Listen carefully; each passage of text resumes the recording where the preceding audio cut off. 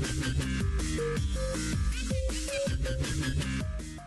大家好，欢迎收看八分电影。今天给大家介绍的电影是《极速追杀》。《极速追杀》系列电影靠着出色的枪战情节、打架斗殴情节，获得了一大批粉丝，而且据说要在明年出第三部了。今天我们先来解说一下第一部。电影开头，我们看到了男主角陪伴在躺在病床上的妻子身边哭泣。原来他的妻子得了癌症，快要死掉了。妻子永远合上眼的那一刻，男子痛哭流涕，却再也无力回天。在男主悲痛了一段时间之后，收到了一个快递。竟然是是一条狗，狗的笼子上贴了一封信。原来这条狗是妻子临死前给他买的，希望自己不在的时候能够有狗狗陪伴他。看到妻子的字迹，回忆又涌上心头。男主再一次大哭后，和狗狗开始相依为命。这条狗还挺懂事儿，又乖。故事看着很温馨，对不对？退休老干部和狗狗相依为命，不错了。这之后的剧情完全不是这个节奏的。瞬时间出来几个讲俄罗斯语的小混混，想抢男主的车，男主不给，于是他们打趴了男主，还杀死死了。狗狗，可怜的狗狗刚刚出场就领饭盒了。小混混回到家和爹炫耀自己抢车，然而爹脸色大变。我去，你抢别人的车不行呀，非要抢男主角的车，人家男主角可是以前的王牌杀手呢。小混混一脸懵逼。男主这边准备报仇，小混混的爹却派了手下去刺杀他。男主以一敌百，马上杀死了所有的敌方手下。路过的警察看到了尸体，但是对于杀人行为睁一只眼闭一只眼。之后男主打电话喊来了许久不叫。的外卖，职业收尸，一顿整齐利落的打扫现场后，男主开始了自己的计划。但是在一通非常帅气的枪林弹雨之后，小混混还是逃跑了。为了保护不争气的儿子，小混混的爹派了更多的手下。男主觉得自己一个人没有办法，于是逃到了和平饭店。这酒店很神奇，反正他们可以保证住在这里里面的人不会被杀就对了。躲在这里的男主不甘心，决定出去反杀。于是他找到了小混混杀掉，并且通过酒店的情报找到了正在跑路。的小混混爹在赤手空拳的决斗后，也把他给杀了。最后重伤的男主闯进了宠物收容所，再次收养了一只狗狗。总有人说《黑客帝国》里基努里维斯已经过气了，但是这部电影真的是让人印象深刻。好了，我们今天就说到这里，我们下期不见不散。